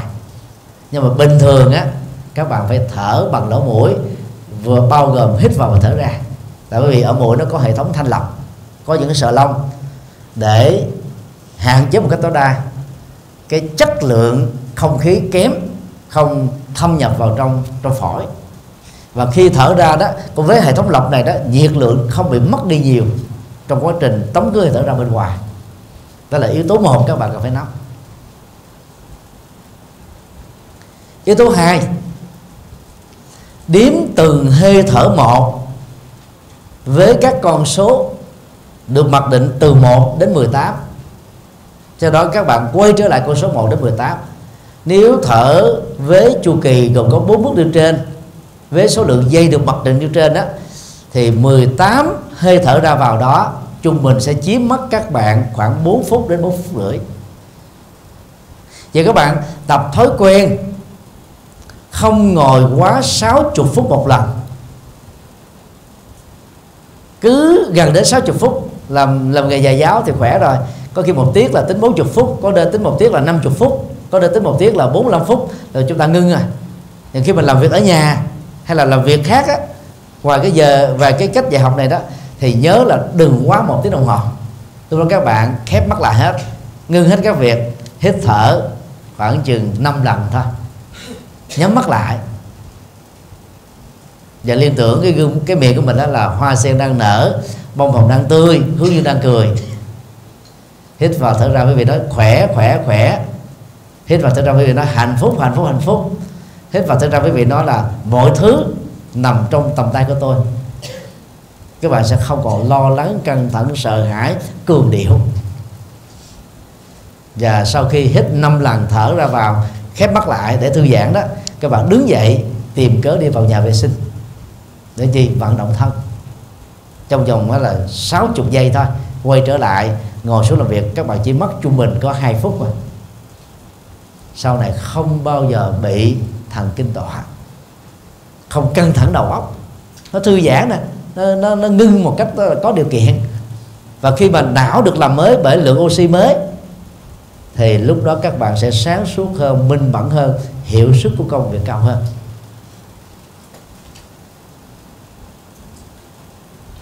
Điều ba là đồng thời với việc điếm hơi thở, làm chủ hơi thở ra và vào. Qua cách thở bốn thì, các bạn liên tưởng đến bốn động từ thôi.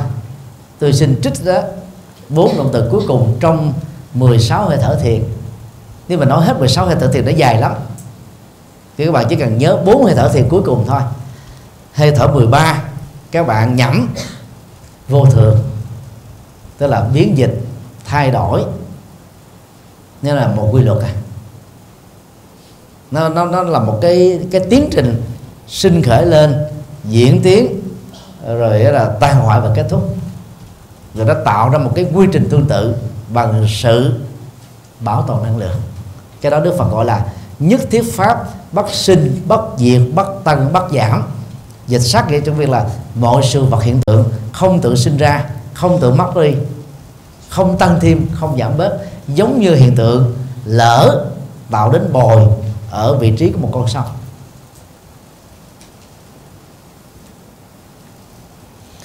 Thì nhận thức này sẽ giúp cho chúng ta trở nên điềm tĩnh vì đã có chuẩn bị tâm lý sẵn rồi hơi thở 13 vô thường.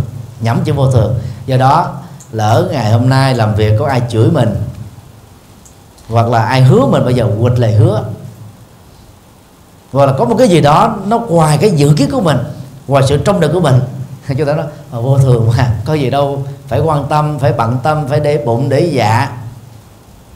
Chúng ta để cho nỗi đau đó trôi đi với vô thường. Nỗi đau cũng bị vô thường cho nên không ghim nỗi đau trong tâm, không nén nỗi đau trong lòng. Nỗi đau đó cần phải thoát ra. Các anh chị cứ liên tưởng nỗi đau đó là cục rác á, quăng nó đi, vì nó là vô thường mà. Hơi thở thiền thứ 14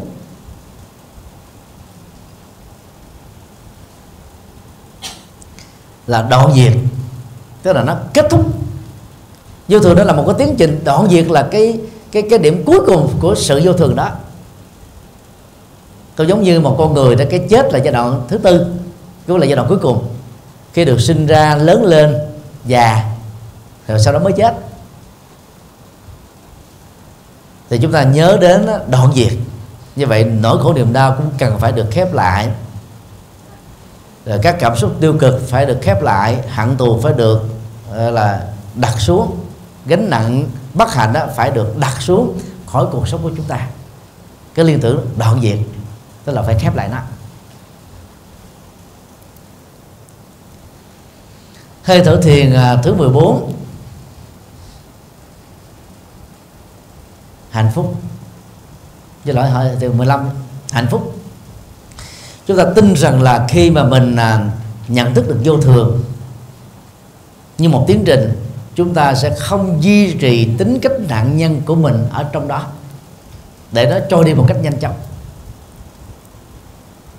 Thì cái này đó hay có thực tập. Nhất là các bạn nào có thói quen rạch rồi theo chủ nghĩa gì nguyên á, đúng và sai, thì chúng ta bị lăn tăng ở trong cái đầu, nói nhẩm dưới hình thức độc thoại. Tức lắm, nhưng mà nói không được, diễn đạt không xong và không được quyền nói, ức chế lắm khi mà ngồi lại một mình đó tự nói nhẩm ở trong đầu. Cái đó nó nó hành hạ chúng ta dữ lắm. Nó tái diễn lại một bộ phim về cái tình huống đó. Chúng ta đóng vai vừa là người viết kịch bản vừa là người đạo diễn vừa là đóng vai chính vừa là đóng vai phản diện. Nó hành hạ cảm xúc chúng ta. Phải vượt qua trạng thái đó. Thì việc tu tập thiền đó mới có kết quả. Còn nếu các bạn mà không vượt qua sự nói nhẩm trong tâm á, thì cái đó đạo Phật gọi là vọng niệm. Kết quả nó không bao nhiêu. Do đó cần phải liên tưởng hạnh phúc để chúng ta trở nên là vui vẻ, tức là biến cái vô thường và đoạn diệt đó đó trở thành một động cơ tốt để vượt qua, để hướng tới phía trước.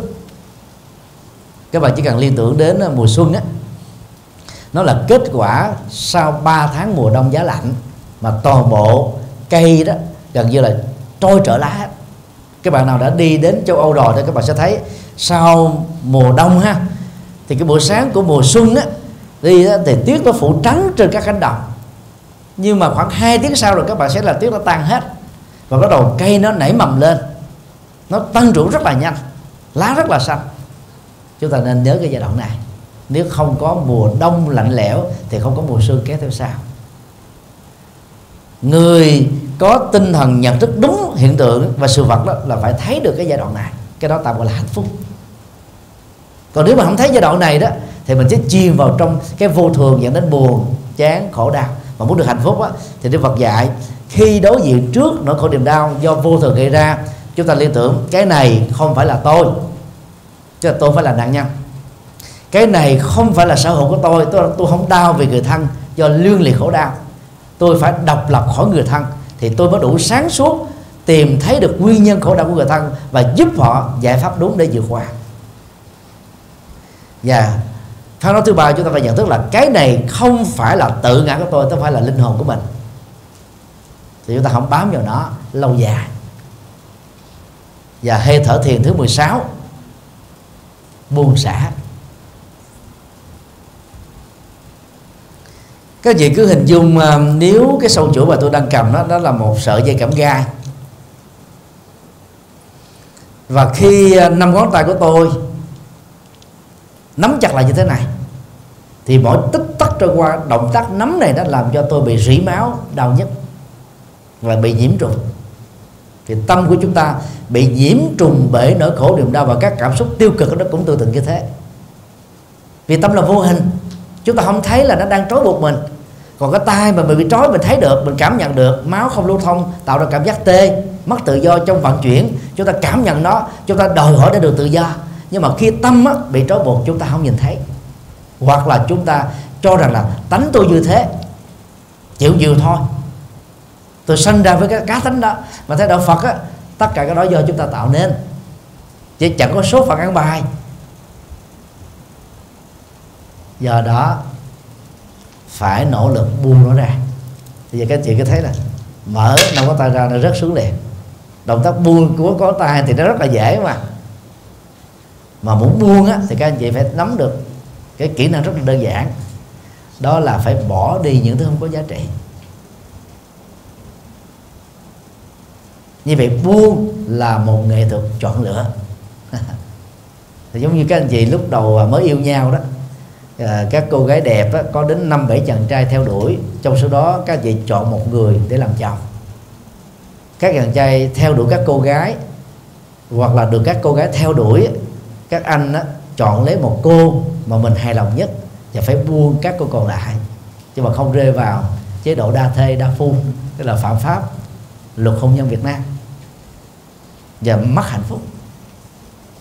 Thì tâm chúng ta đó cứ mỗi một tích tắc trôi qua thì theo Đức Phật đó nó chỉ tiếp xúc với một đối tượng hoặc là con người sự vật sự việc uh, ờ, sự việc tình huống thuộc về quá khứ thuộc hiện tại hay hoặc là thuộc tương lai thôi. Nó giống như một bộ phim đó được kết nối bởi những cái cái ô phim.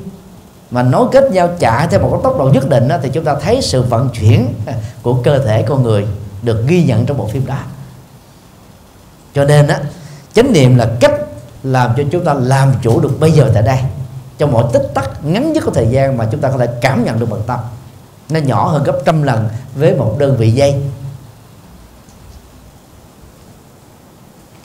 và bằng cách đó đó, chúng ta cần phải thực tập buông xả, khép nó lại. Thì cái kỹ năng để tập buông xả các anh chị cứ hình dung á, tôi là khúc cây, tôi là tảng đá tôi là gió thổi mây bay, tôi là nước chảy. Mọi người có thể thích một cái hình ảnh nào đó, mình gợi ý về cái đó. Về bản chất của thực vật và và có cây hoa lá trời và non nước là vô tri, vô cảm xúc, vô thái độ, vô tâm tư, vô nhận thức. Người ta khổ là vì chấp vào những thứ này. Còn thực vật không khổ. Thế giới vật chất không khổ vì nó không có cảm xúc. Thì bây giờ chúng ta phải đóng vai mình là vật vô tri thì các cái cảm xúc liên hệ đến khổ và chấp vào cái sự khổ liên hệ đến tôi là, hoặc là sở hữu của tôi là, thái độ của tôi là, tự động tách rời khỏi ta. Đó là cái cách ly tâm hóa, nỗi đau khỏi thân và nỗi khổ khỏi tâm. Cái này nó hơi trừu tượng chút xíu, nhưng mà chúng ta phải tập làm quen. Và lúc đó đó các bạn sẽ bớt đi sự suy nghĩ nhất là những suy nghĩ tức tối khó chịu căng thẳng khổ đau bực dọc. Và đặc biệt là hận thù quan trái quan ức á, hai cái cảm xúc đó nó đè nặng tâm chúng ta lắm. Nhất là khi chúng ta nhận ra là tôi bị chơi điểu tôi bị cấm sừng tôi đó bị phủ phàng tôi đã bị cướp công tất cả những ức chế tâm lý đó nó làm cho chúng ta mất ăn bỏ ngủ và nhiều cái hệ lụy khác. Bây giờ phải buông cái gì liên tưởng đến hình ảnh gió thoảng, mây nó sẽ bay. Mà mây bay thì ánh sáng của mặt trời chiếu soi, không có phân chia bên dưới nó. Nó rất là công bằng. Thì đây là bốn hơi thở thiền. Khi thực tập thiền đó, chúng ta nhớ đến điều đó. Và ở mức độ sâu hơn chút xíu nữa, thì các chị nhớ là xả niệm thanh tịnh, buông hết mọi ý niệm để giữ tâm thanh tịnh như một trạng thái chân không. Trong chân không á, là không có sự rơi, không có sự bám, không có sự dính. Thì kinh kim cương năng động bắt ba la mật gọi đó là gì? Ưng vô sở trụ như sinh kỳ tâm. Các chị có nghe câu này lần nào chưa? Chưa nghe hả? Không sao, các chị sẽ làm quen thôi. Vô sở trụ là không có chỗ bám. Trụ là hoặc là tạm trú hoặc là thường trú, tức là bám dính thì Đức Phật gọi cái tình trạng tạm trú là chủ nhân ông ông chủ. Còn những cái trạng thái đến và đi vô vô thường đó là hành khách hay là khách du lịch. Khách du lịch có thể tá túc ở trong khách sạn nhà trọ một đêm vài đêm sau đó lại đi. Còn ông chủ đó sẽ ở đó lâu dài.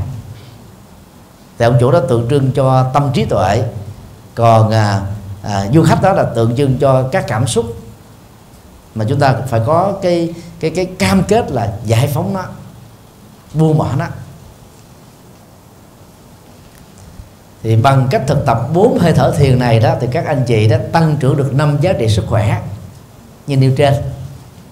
Và lúc đó đó các anh chị sẽ trở thành nếu là vợ chồng đó thì trở thành là vợ chồng hạnh phúc nếu các anh chị có con đó thì ngoài tư cách vợ chồng các anh chị là cha mẹ hạnh phúc. Trong quan hệ huyết thống thì các anh chị là anh chị em con hoặc là cháu hay là cô dì thím mợ uh, chú bác cậu hạnh phúc. Còn khi ở trường thì các anh chị sẽ trở thành là thầy cô giáo hạnh phúc. Nó rất là rõ thôi. Và chỉ có người được hạnh phúc thì mới tặng hạnh phúc cho người khác.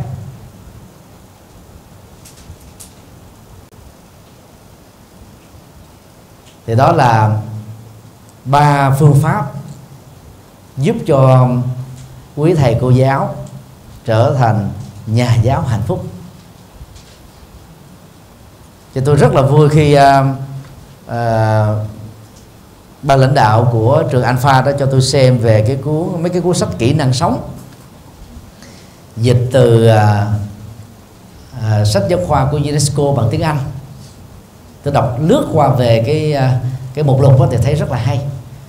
Hàng trăm các dữ liệu Phật giáo đã được tiêu hóa ở trong những tác phẩm đó bằng ngôn ngữ hiện đại với các cái kỹ năng trình bày rất đơn giản rất dễ hiểu rất sâu sắc. Cho nên đó, tôi rất mong khi à, à, vào những ngày cuối tuần vào những dịp vĩ lễ đó thì các anh chị nên thực tập thiền để tái tạo năng lượng. Năng lượng đó cần phải được chu cấp thường xuyên. Tái tạo thường xuyên. Chứ mà không đó, nó sẽ bị kiệt quệ. Còn các tu sĩ của chúng tôi đó, sau 9 tháng làm Phật sự, nhập thế độ sinh đó, thì Đức Phật khuyên là 3 tháng ăn cư, chuyên tu hơn, để để tái tạo năng lượng hạnh phúc. Rồi sau đó mình tiếp tục đi giúp cho đời dĩ nhiên là những người à, có những năng lực thuyết giảng à, tư vấn à, tổ chức khóa tu à, làm các cái à, phật sự thì có thể được ngoại lệ.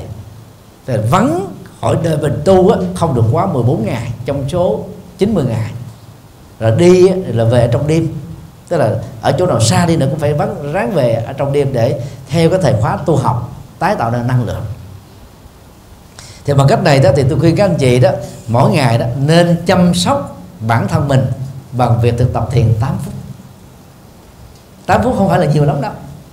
Mà nếu các anh chị làm được 3 lần 8 phút như thế à, một lần vào buổi sáng một lần vào bữa à, bữa, bữa bữa chiều một lần vào buổi tối thì à, cái trữ lượng hạnh phúc của các anh chị sẽ cao. Các anh chị có nghe đến khái niệm tổng số hạnh phúc quốc dân không? National Gross Happiness do vua Bhutan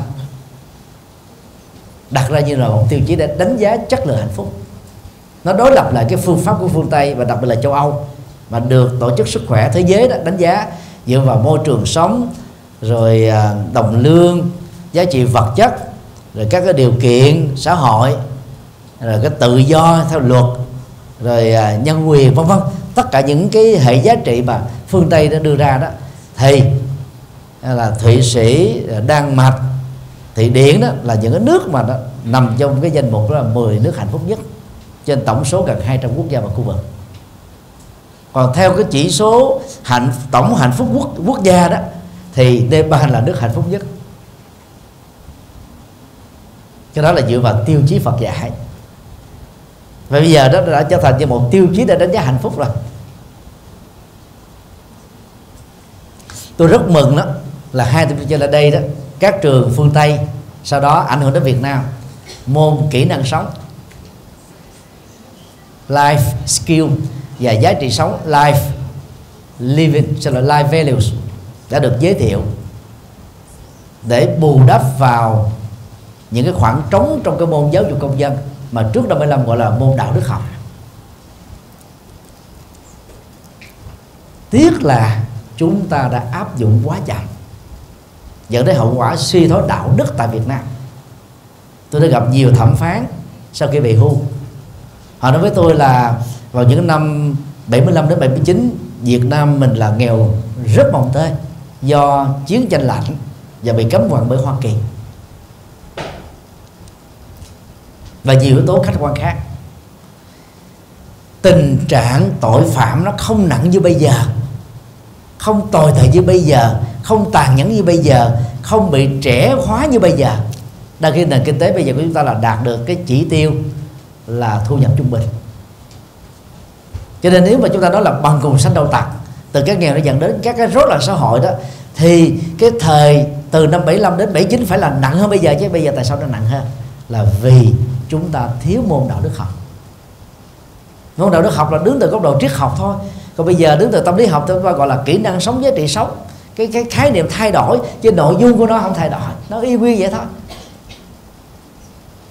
Các trường tư thục, trong đó có trường alpha, giúp cho các bậc cha mẹ, ít nhất là 6 7 buổi đầu, trước khi gửi con đến đây, tự mình phải học, tự mình phải cảm nhận, tự mình phải cam kết để giúp cho con cháu của mình được những giá trị đó. Đó là một hướng đi rất là đúng. Do đó nên thường xuyên thực tập. Làm chủ cảm xúc làm chủ tâm làm chủ ý, ý niệm bằng việc thực hành thiền. Thiền là phi tôn giáo. Các anh chị có thể theo đạo thiên chúa đạo tinh lành đạo hồi đạo nho đạo bà la môn đạo phật hay các anh chị là những người chủ nghĩa vô thần không sao hết á. Hãy có thực tập và các anh chị có kết quả thực tập đúng thì à, vài hôm nữa tôi sẽ gửi tặng các anh chị à, các quyển à, thiền à, à, cẩm nang ta. Trong đó gồm có ba cuốn đầu tiên. Cuốn uh, thiền vipassana bốn nền tảng chánh niệm.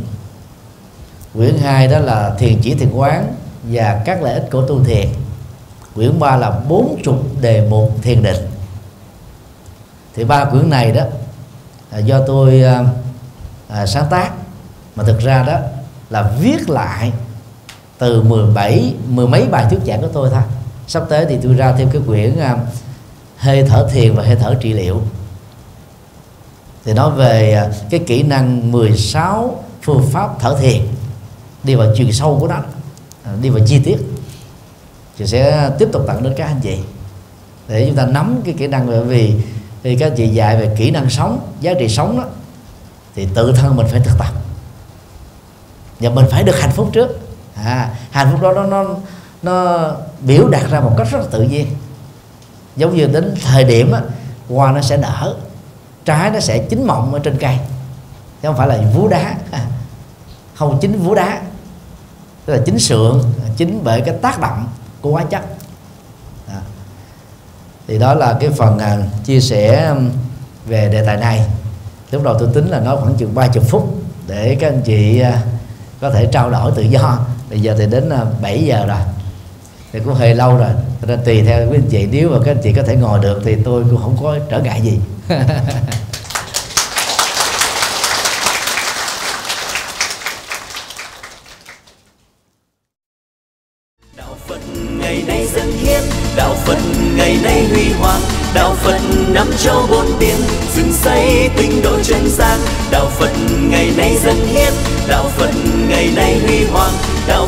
năm châu bốn biển dựng xây tình độ chân gian.